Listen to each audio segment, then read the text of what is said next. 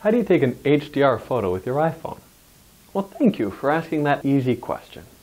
You open your camera app on your iPhone 5 and you tap the button that says HDR off.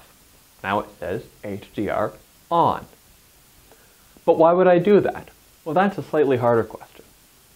So HDR traditionally meant that you would take a couple different versions of a photo, some that were bright, some that were dark, so some that were overexposed and some that were underexposed, and combine them together to make a single super image. What the iPhone does is it simplifies that whole process and does it all at the moment of capture.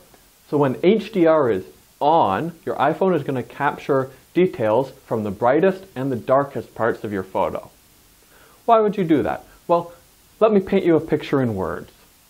Imagine that you're taking a photo with a very bright sky in the background and a very dark foreground, maybe a tree or a bush. Now in order to get the dark foreground and the bright background, you're going to need to do something. Turn on HDR in those situations.